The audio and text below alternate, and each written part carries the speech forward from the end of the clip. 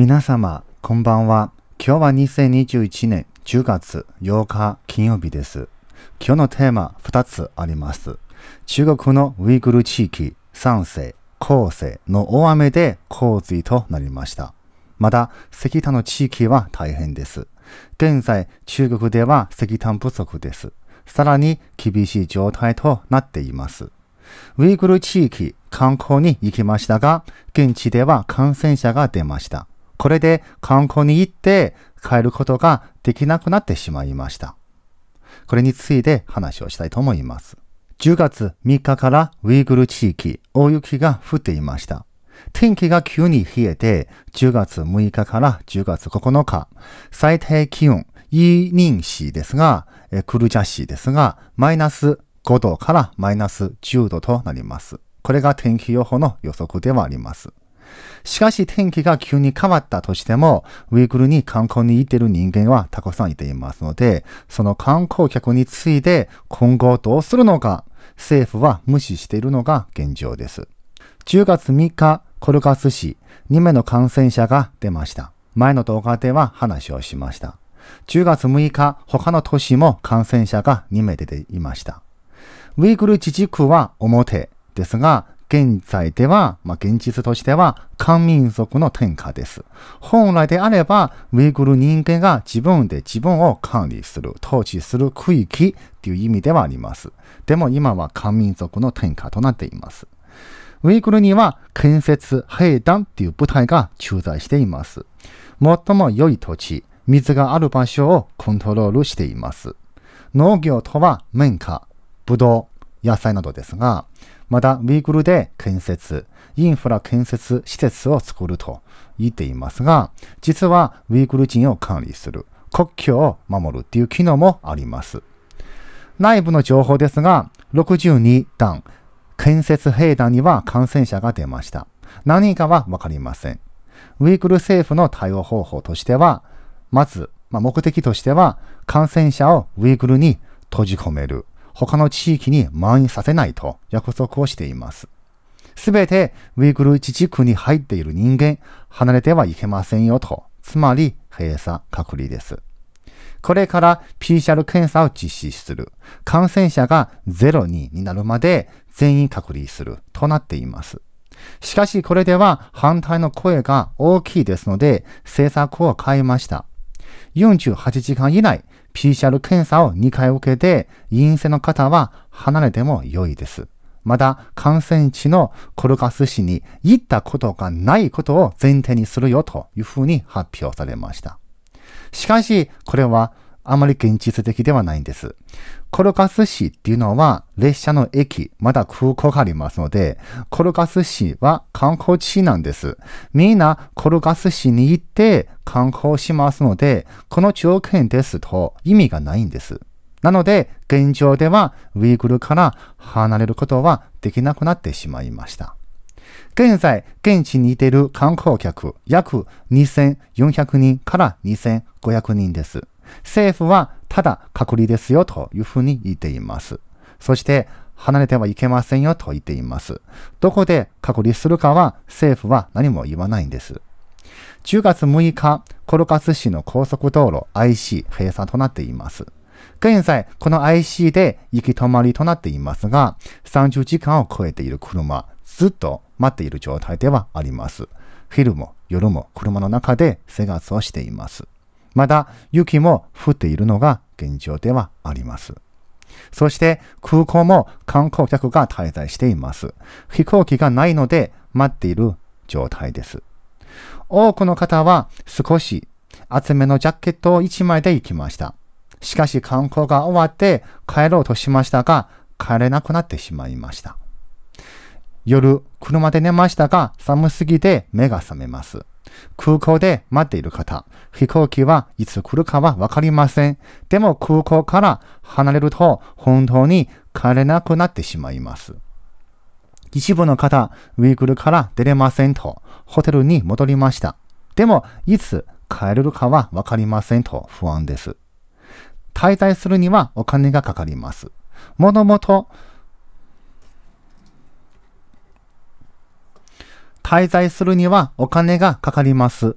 もともとウイグルの観光っていうのは大自然を楽しむ。つまりお金はあんまりかけないという意味です。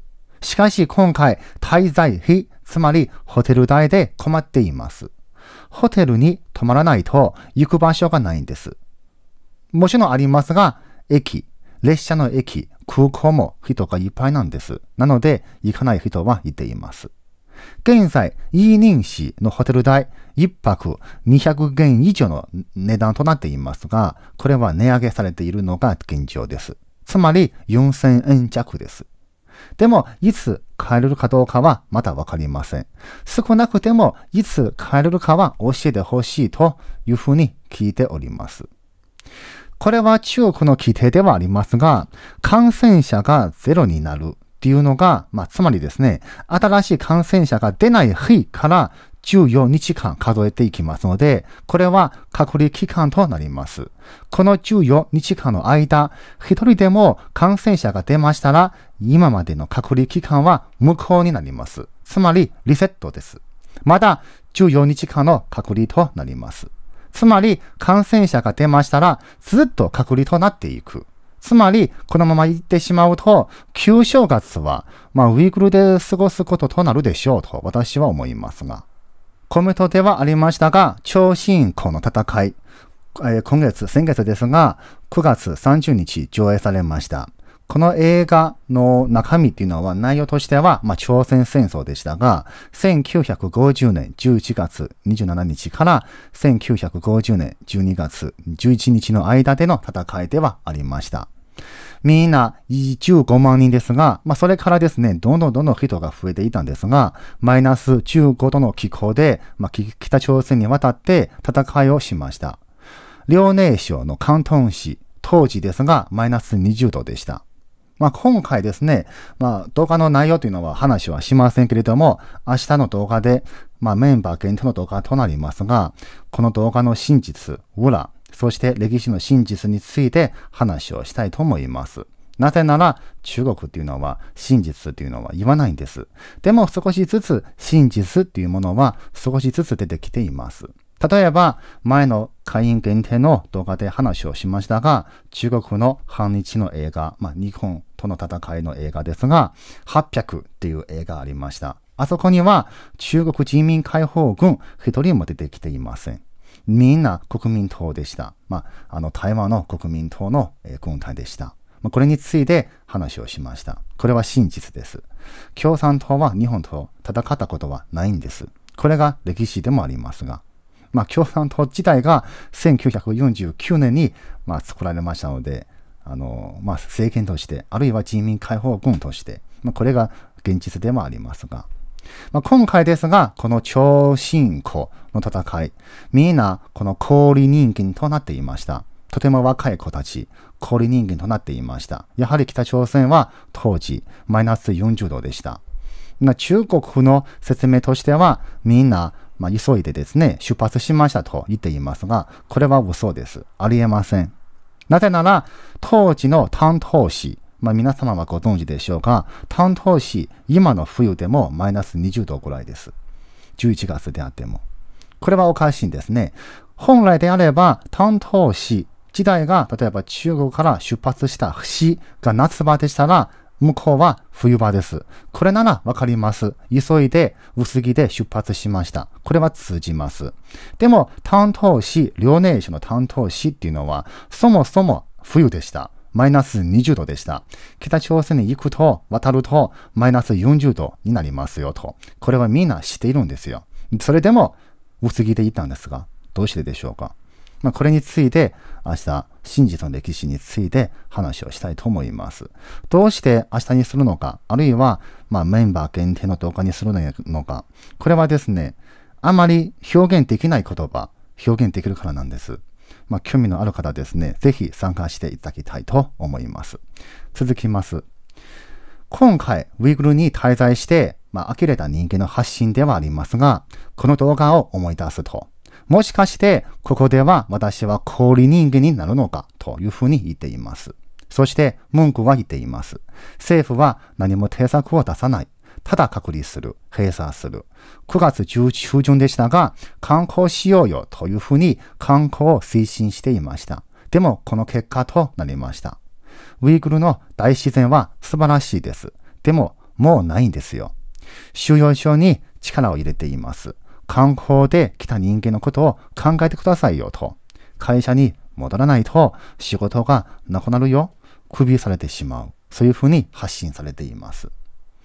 ウイグル現在ですが、そこで滞在している人間、すべて政府と契約しないといけません。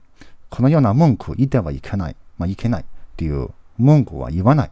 えー、まあ、そういう政府に対してその不満は言わないという契約をしないといけません。次ですが、酸性、香水が発生しています。27箇所の石炭生産する工場が生産停止となっています。酸性、先生、河南省などの省ですが、現在大雨の被害を受けています。特に3世ですが、10月2日から10月7日まで、15ミリから285ミリの大雨が降っていたんです。半分以上の市、県、200ミリの大雨で被害を受けています。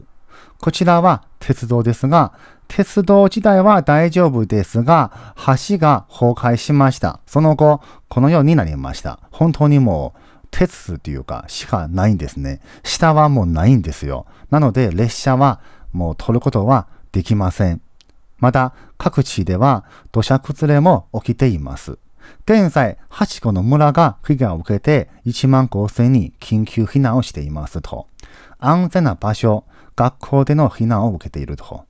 数の数えられない部屋がなくなりました。そういうふうに聞いております。三世っていうのは石炭の名産地です。すす。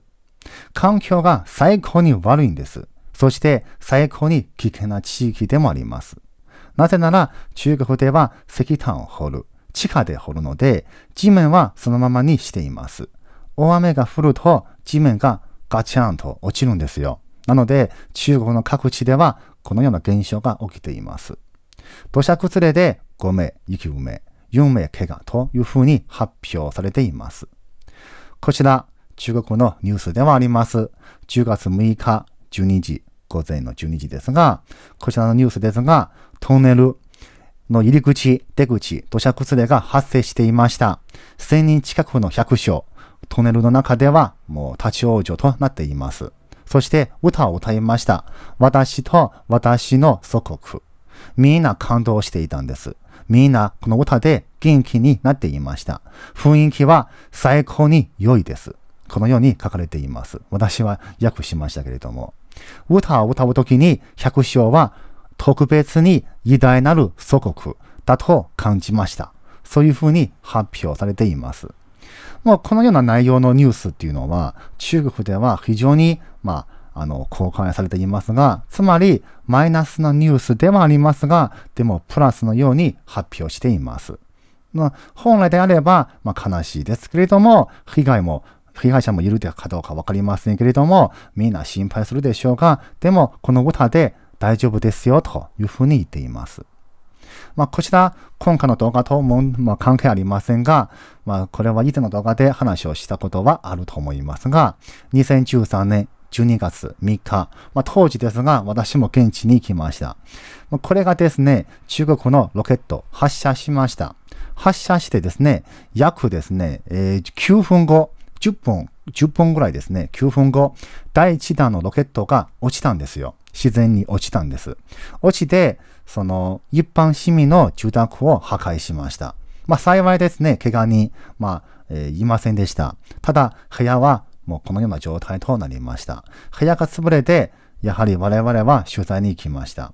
まあ、現地に向かってですね、私も当時びっくりしましたが、まあ、まあ、おじいちゃんでしたね。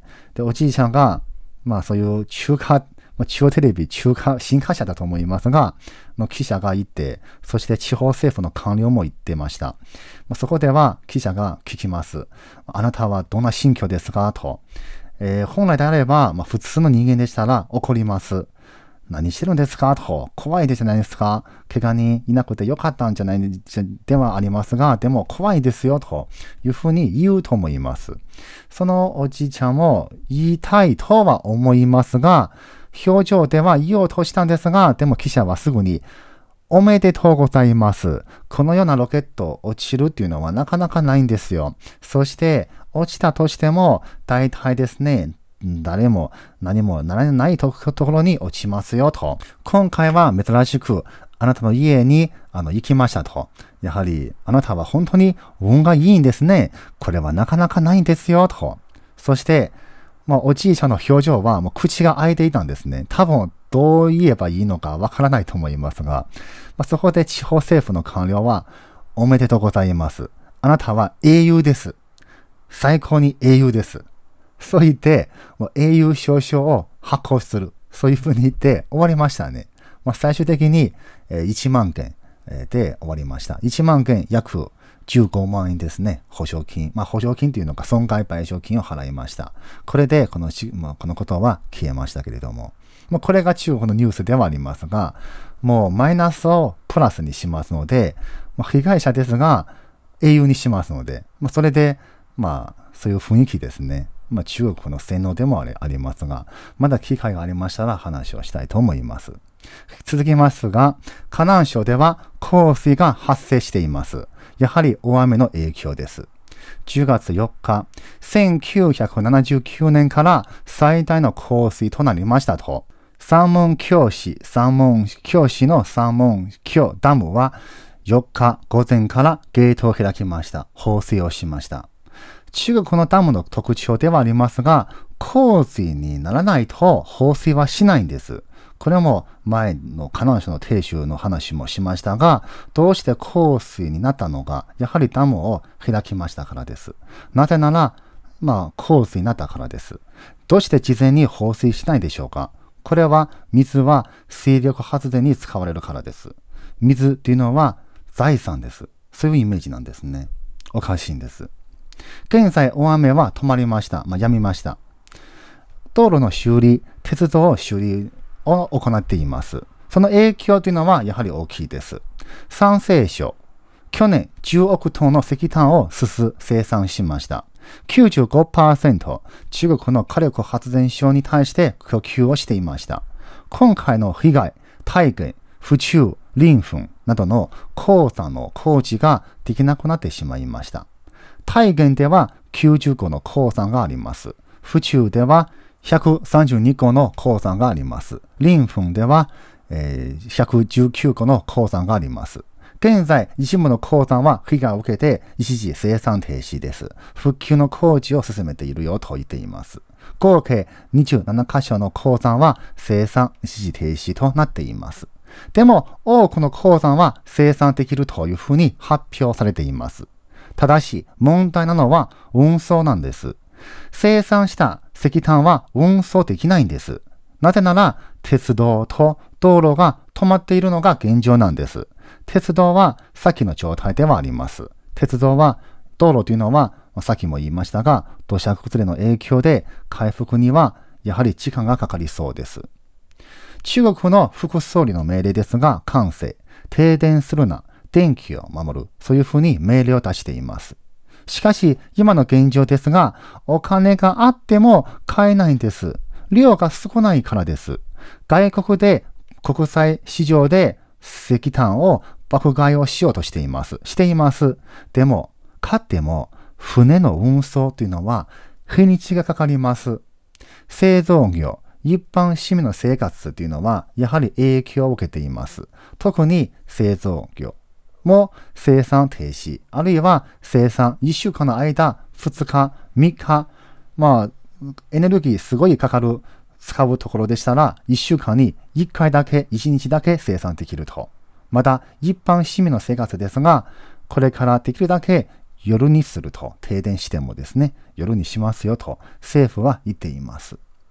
このような状況というのは、多分来年の2月、3月まで続くでしょうと思います。もちろんですが、これは良くない状態です。